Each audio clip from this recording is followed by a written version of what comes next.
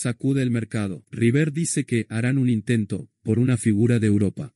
Hola fanático River Pleto. Bienvenidos al canal. Suscríbete, activa la campanita de notificaciones para recibir notificaciones cada vez que subamos un nuevo vídeo. ¿Te has inscrito? Vamos a las noticias. Sacude el mercado. River dice que harán un intento, por una figura de Europa. Martín de Michelis quiere tener refuerzos en la jerarquía, y River estaría buscando quedarse con un viejo conocido. Tras el regreso de Matías Craneviter y Nacho Fernández, en el Mundial, River sigue buscando los mejores refuerzos posibles para el próximo año, ya que la Conmebol Libertadores será el gran objetivo del equipo comandado tácticamente por Martín de Michelis. Aunque la negociación para concretar la renovación de Juan Fernando Quintero es muy complicada y es muy probable que acabe marchándose al fútbol brasileño, los miembros de la junta directiva saben que deben encontrar un jugador que pueda cumplir el rol del colombiano.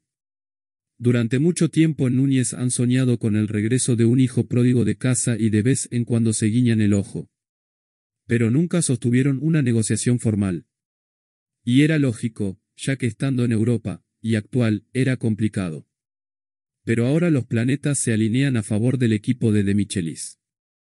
En las últimas horas, durante una de sus presentaciones en el Polideportivo, el periodista Javier Gil Navarro dijo que River hará un intento por Manu Lanzini. Y esto tiene que ver, principalmente, con el sentimiento de pertenencia pero sobre todo porque el West Ham quiere venderle porque no tienen intención de renovar el contrato que acabará en junio de 2023.